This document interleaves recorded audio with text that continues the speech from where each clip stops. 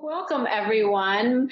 My name is Dr. Sara Horton Deutsch, and I am the director of the Watson Caring Science Center. And this is our fourth and final webinar of the year.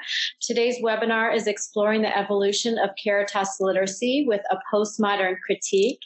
And I am just so honored and blessed to have Dr. Jean Watson with us, the Dean Emeritus and um, Distinguished Professor Emeriti and founder of the Human Caring Science Center at CU. And um, Jean hardly needs an introduction. We all know her very well. And before we get started, we also have Dr. Jan Anderson, who's um, offsite in uh, Santa Barbara. Jan's going to be um, fielding questions. If we're going to talk and dialogue for about 20 minutes, and then we will um, entertain questions. So if you have questions, you can send them to Jan in the chat. Please send the questions not in the Q&A, but in the chat to Jan, and she will read them and help facilitate a dialogue with us. So without further ado, Jan, welcome. Thank you, Sara, and hi, Jean. It's great hi, to see you both. Delighted to be here.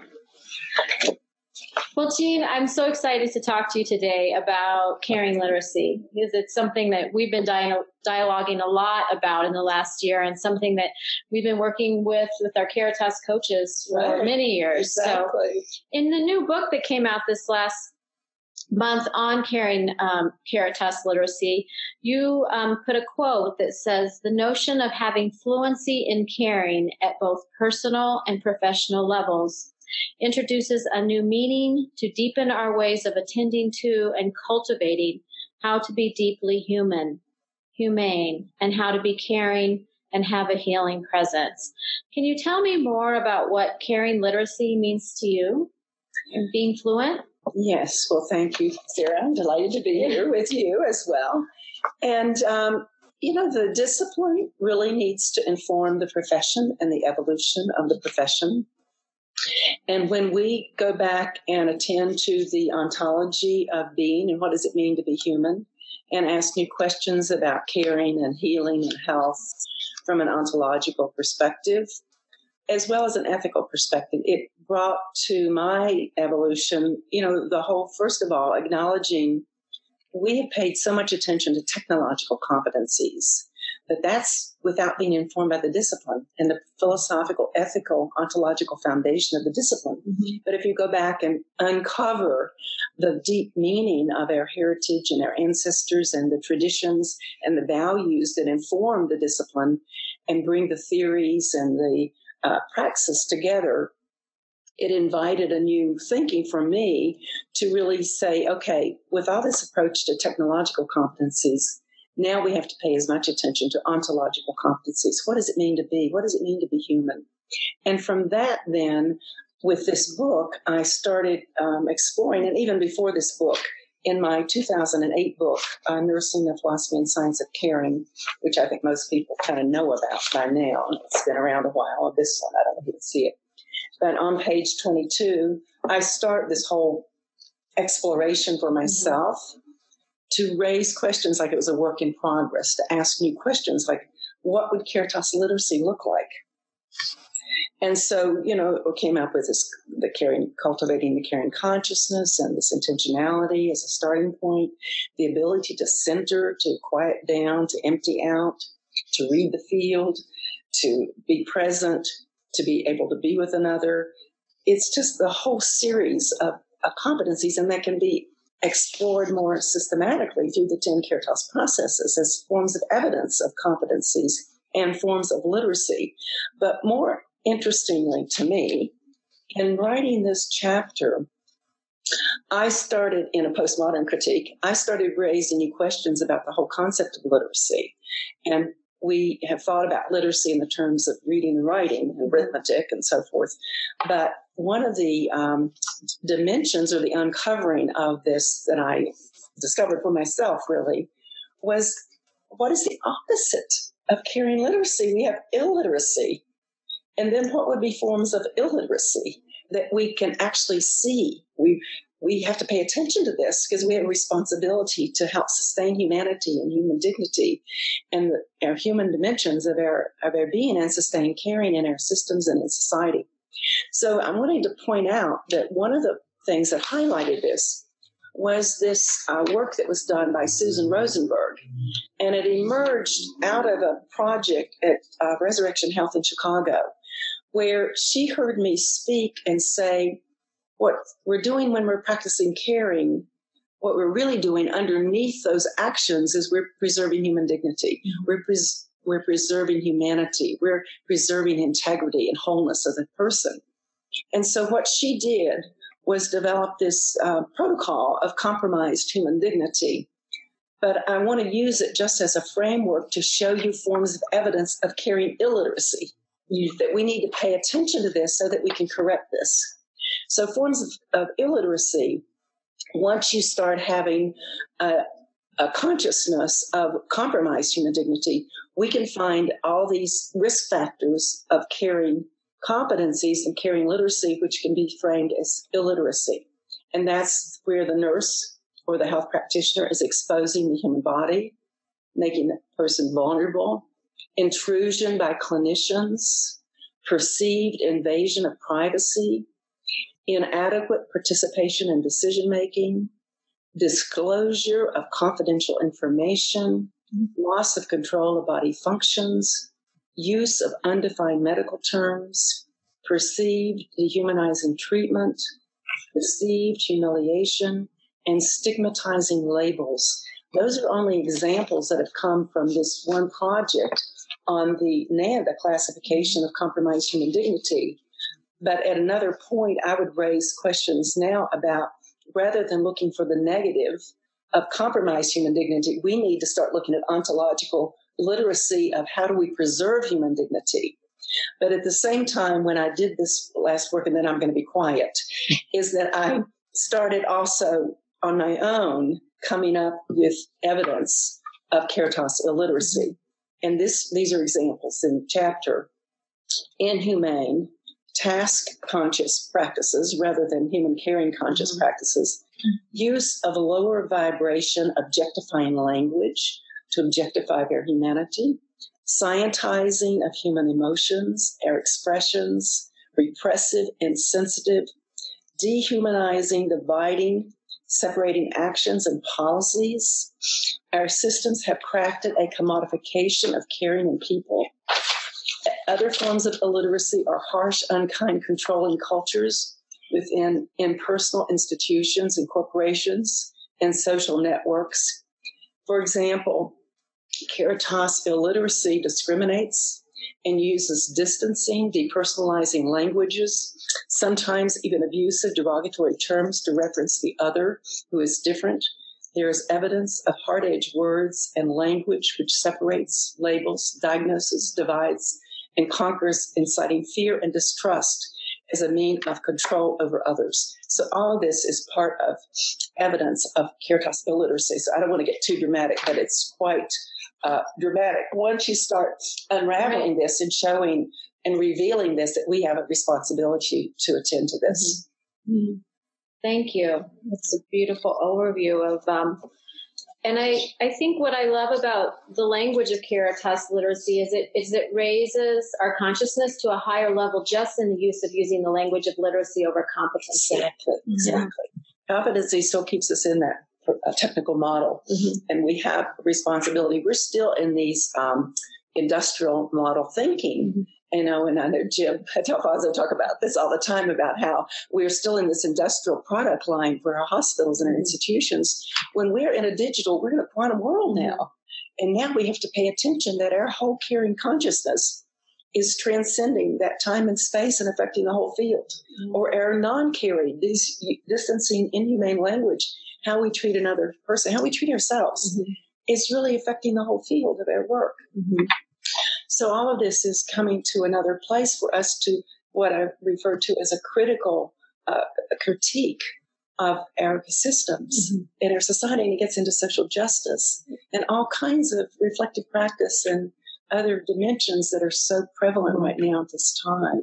One of the things I love that you talk about in um, the introduction of this book is um, most of us, or many of us, have w- read Paulo Freire's yes, book, The right. Pedagogy of the Oppressed, and you talk about um, uh, Caritas literacy in relationship to critical literacy, which is something he's talked about for a very long time. And he says that um, the goal is in not just engaging in books and written tests, but also through reading that includes interpreting, reflecting, exactly. interrogating, theorizing, investigating, exploring, probing, and questioning, and writing that is acting on and dialogically transforming the world. Exactly. Is that beautiful? It's, beautiful. And I think that kind of writing and that kind of lifting up.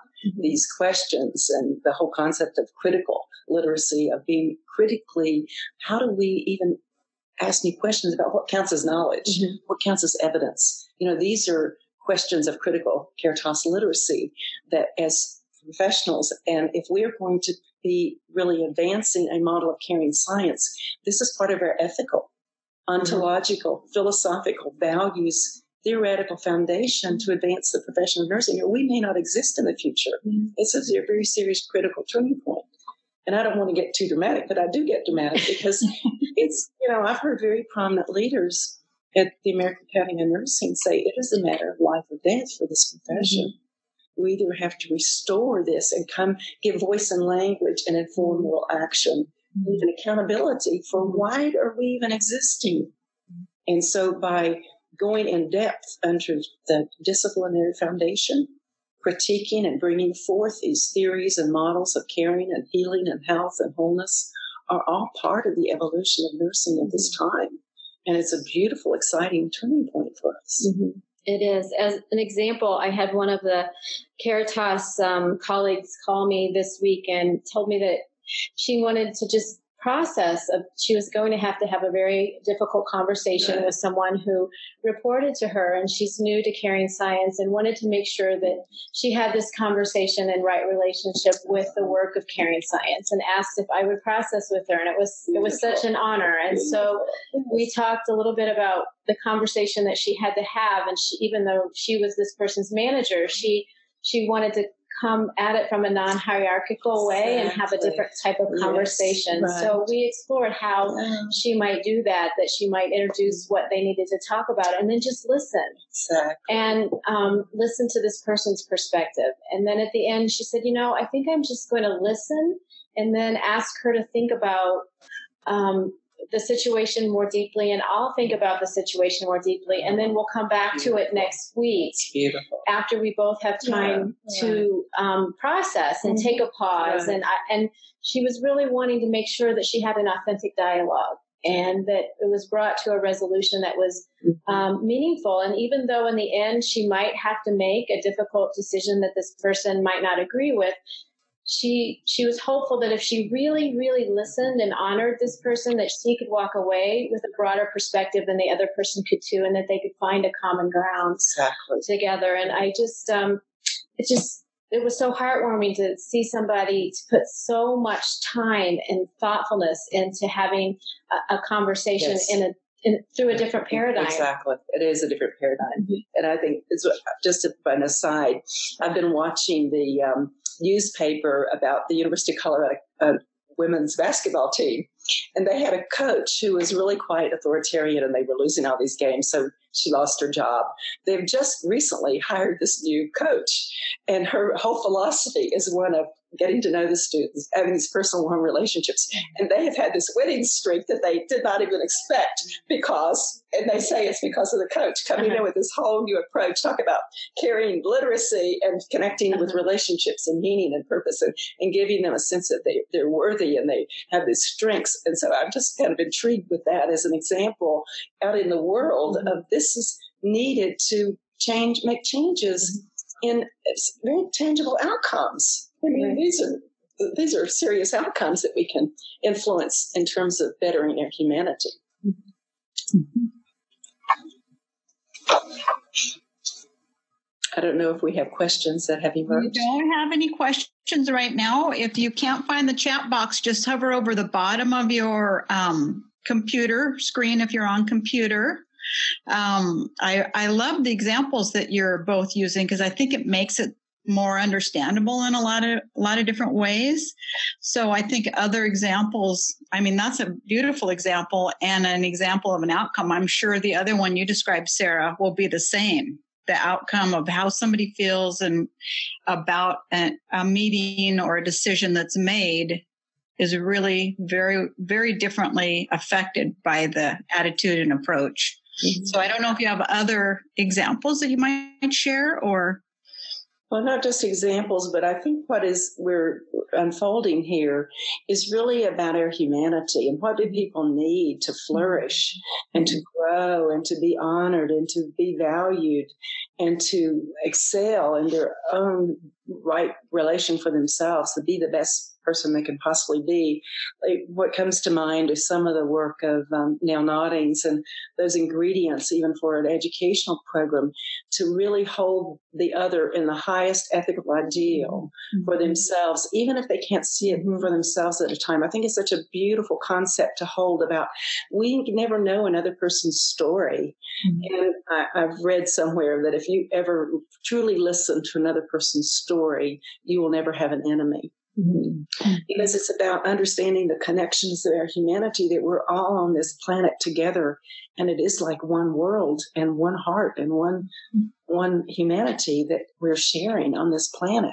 Mm-hmm. And this is part of our literacy of waking up mm-hmm. and of evolving in our consciousness to pay attention that what I'm doing to the other, I'm doing to myself. And it, it just backfires. I mean, it's, it's quite dramatic. Mm-hmm. So uh, I think it's part of our responsibility to um, reveal this and name it. You know, that's one of the important things about, you know, John Parsardi has this expression. He said, if you can name something, you can change the world. And by naming this caritas illiteracy and mm-hmm. calling it up and putting a light on it, right. you know, bringing light into the darkness, mm-hmm can really reveal and help to transform from the inside out because we're all waking up together then. Yeah. Yeah. Now, here is one good question. Um, let's see. People are really appreciating the discussion here. They're getting a lot out of it. Um, let's see. Where did I see that? How, how might we, do you think let's see do you have suggestions about how to teach or talk about listening and how you might deconstruct it for beginners Mm, that's a really good question. I think both Jean and I have used listening exercises um, in conferences and in the classroom where we just, um, what I do is I take, I ask a, a question um, that depending on the level of the students in the classroom, I might ask them to share a story about the first time that they remember being cared for for some by someone else, or maybe um, a story about when um, the first time um, that they had a family member in a hos- in the hospital or cared for a patient and te- and share that story. And the other person just has to be quiet and listen for 3 to 5 minutes. You can pick the time but um, it's a very transformative experience and then have the students switch roles. Mm-hmm. and to just um, be quiet and listen. You know, research has shown that the average doctor listens for like 18 seconds and the average nurse for 21 seconds. Mm-hmm. So for us to just listen for three to five minutes and um, and then ask the students what that was like to be to be both listened to and to be the listener. Right. And it's amazing how much of what comes out of the students' experiences is related to caring science and caring literacy. Mm-hmm. Mm-hmm. And again, I've done similar things with, you know, training programs with hospitals and all, and, you know, you participated, Jan, in these. And it's really quite profound. And in some instances, people end up crying uh, mm-hmm. because you never know what you need to be talking about. And when someone is holding that sacred space and just allowing you to hear yourself, it gives space where you can begin to hear yourself. When otherwise we're so busy and our mind's so full, we don't have that quiet inner time to even hear ourselves. So it's a gift to us, and it's also a gift to the person who we're creating that, holding that space for. Mm-hmm. I think the other thing about this listening is that uh, when we hear another person's story, it also helps us to hear our story mm-hmm. because any one story could be our story. Mm-hmm it, it makes us share a, humility of our common bond of humanity. Mm-hmm. Like whatever happened to this person could be me. Mm-hmm. And exactly. that's pretty sobering, you know, it's pretty humbling. It's, it makes us really yeah. appreciate uh, each other. Yeah. The other thing that comes out of this work and out of sharing stories and really deep listening is that we allow ourselves to be vulnerable mm-hmm. and we allow other people to be vulnerable in, in exactly. a safe way. Exactly. And um, I don't think we ever truly um, get to our own humanity or another person's humanity unless we uh, allow for that vulnerability and that deep authenticity that comes from um, from a beautiful human to human connection. So those are just key elements that um, that don't come out in a classroom if we're only lecturing, exactly. or don't come out um, in our relationship with our peers if um, if we don't get to know each other. Exactly. Right. Right. Okay, here's a question about nursing education.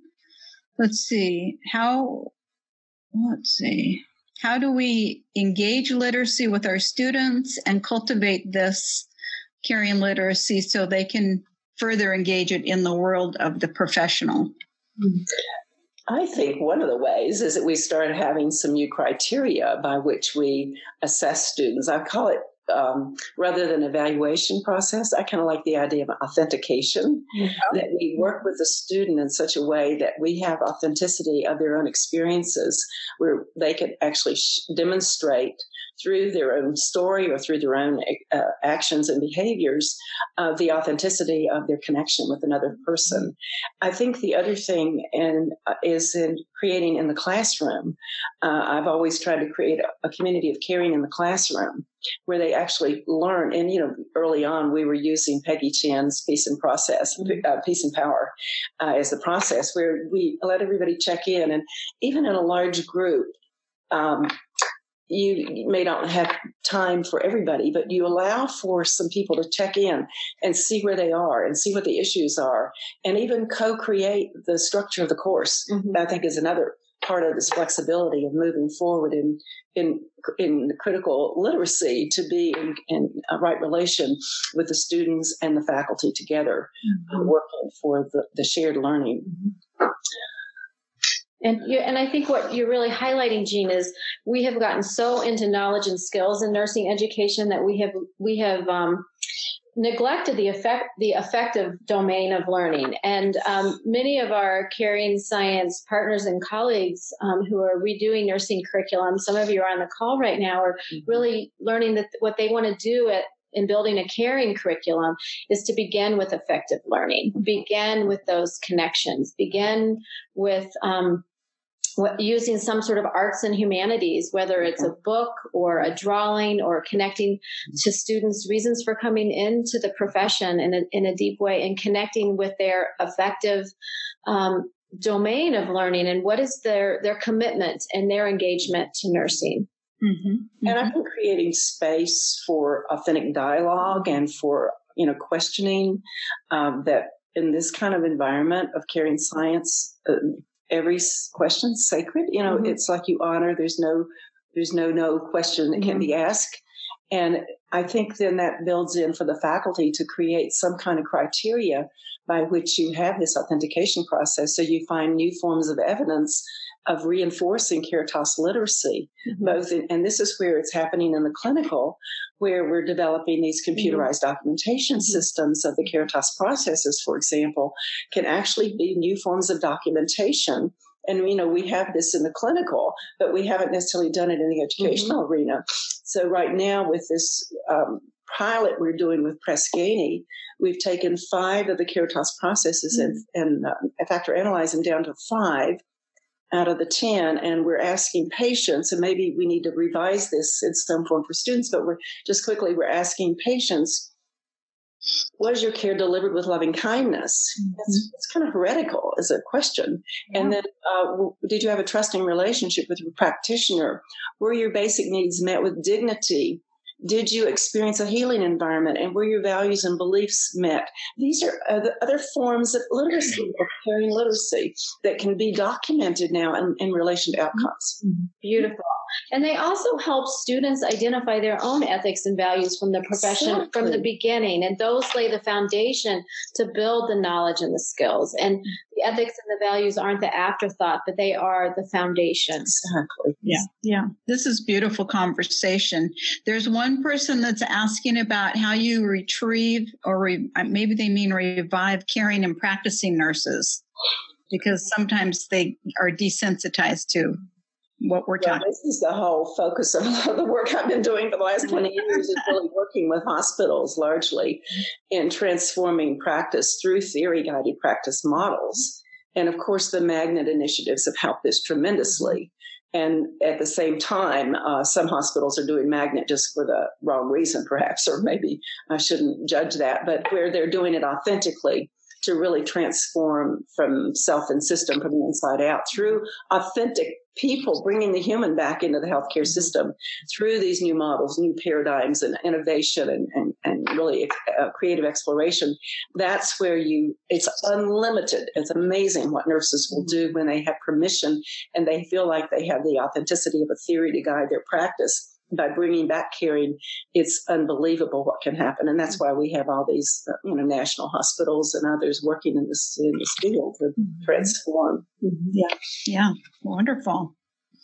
And the Caritas Coach Program is Absolutely. Um, a six month program that um, is often nurses are sponsored by their hospitals to come and learn about Caritas coaching and how to be um, a, a, leader in caring in the hospital. And then they can take that back to their institutions and um, model the way for others. Many of the uh, affiliate hospitals that work with us, they now hold annual resiliency conferences and um, they have healing rooms and they create presence and space within the hospitals and institutions to honor um, caring literacy. Mm-hmm. Yeah. Yes. I think it highlights again the importance of language and mm-hmm. giving voice and language to this, and you have to bring it to another level. And mm-hmm. so, you know, this languaging of these phenomena mm-hmm. of caring and our practice models becomes very important. And I've said this so many times, but in this postmodern world we're in, if you don't have your own language, you don't exist. And if we don't have the language and the the fluency and the literacy of caring and healing and health and humanity and wholeness and dignity and preserving our, our very being, then then we are really um, amiss and we are lost at sea in terms of our role in, in the world. Mm-hmm.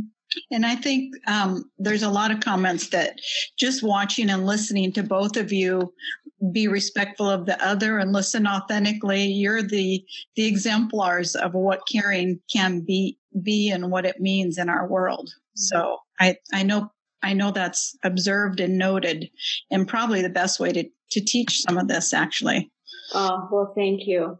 Yeah. of course, we could say the same for you, Jay. Yeah. Thanks, I wasn't fishing for a compliment.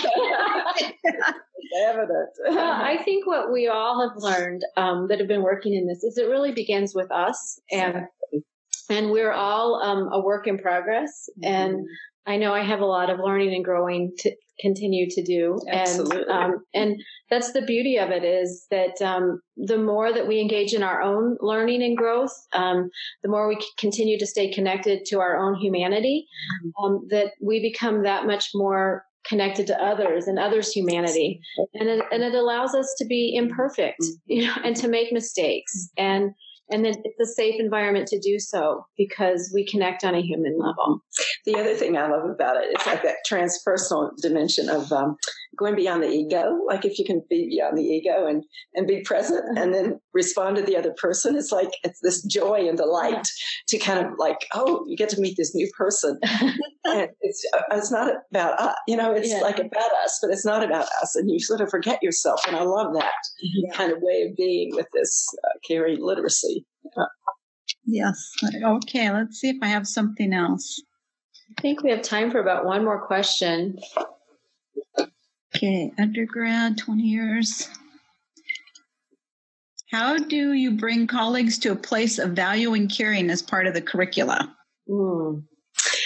You know, that's something that I've been working a lot on. And I think you, uh, I say over and over again, you just start where you are, are and you find one or two people to, um, to join you. And um, what I have found is the more that we it just snowballs from there and the students if you can get into some classrooms or visiting i visit a lot of classrooms and the students um, are asking for more um, on caring science and caring literacy, and they're wanting it in the programs. And so what we're finding is students are putting it on their course evaluations. They're they're asking for it for the other from the faculty to do more in caring science, and it's slowly starting to turn the interest of other faculty. And then other faculty come to and say, "Well, the students really like what you're doing. They want more of it. How can we be a part of it?" I think the other thing is invitation, invitation, mm-hmm. invitation. Yes. It's always an invitation. I think we sometimes want to get into this mandate kind of mm-hmm. model, or you well, you're supposed to do this, or you have to do this, and you know the hidden curriculum will undo that every time. So it's always an invitation, like Sara, mm-hmm. you're saying. You create this opportunity, you invite people, you give them an opportunity, you invite the students, and then the students are the ones that change. It yeah. changes from the inside out, and it's contagious. It is and it's not and like i love what you said Jean is it's nothing you can mandate because if you try to mandate it then you're being inconsistent with with caring science. You can't script it. It's the same thing. You can't script it. It has and to be gets, that's why i get the self-work so. That gets back to the caring literacy as well. Yeah, yeah. exactly. that. You have to be it. Yeah. exactly we teach who we are, we practice who we are. Yes. Well, I want to thank you, Jean, for coming and being with you, us today Sara. in the center pleasure. and talking about caring literacy, and Jan for fielding questions. It's always wonderful Absolutely. to be together. Yeah. And I wanted to share the screen with you all and let you see some of the upcoming programs that we have um, yes. in um, Yay. There we go. Yeah. You can find more about some of the upcoming programs um, that will be occurring in the next six to nine months on the um, Watson Caring Science Center homepage. And that's listed for you. And the book that we've been referring to today um, on the latest work in human caring literacy is, is there for you as well. So thank you all for Thank you so us. much. Yeah. happy holidays. Happy holidays.